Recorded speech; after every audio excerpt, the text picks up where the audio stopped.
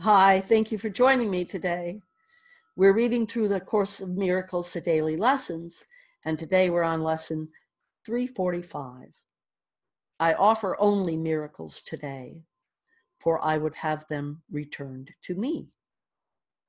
Father, a miracle reflects your gifts to me, your Son, and everyone I give returns to me, reminding me the law of love is universal.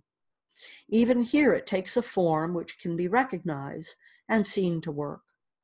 The miracles I give are given back in just the form I need to help me with the problems I perceive. Father in heaven, it is difficult. I'm sorry, it is different. For there, there are no needs. But here on earth, the miracle is closer to your gifts than any other gift that I can give then let me give this gift alone today, which, born of true forgiveness, lights the way that I must travel to remember you. Peace to all seeking hearts today. The light has come to offer miracles to the bless, to bless the tired world.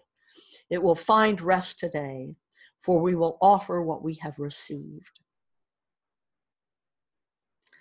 Let me read it again. I offer only miracles today, for I would have them returned to me. Father, a miracle reflects your gifts to me, your Son, and everyone I give returns to me, reminding me the law of love is universal. Even here, it takes a form which can be recognized and seen to work. The miracles I give are given back in just the form I need to help me with the problems I perceive. Father, in heaven it is different, for there are no needs. But here on earth, the miracle is closer to your gifts than any other gift that I can give. Then let me give this gift alone today, which, born of true forgiveness, lights the way that I must travel to remember you.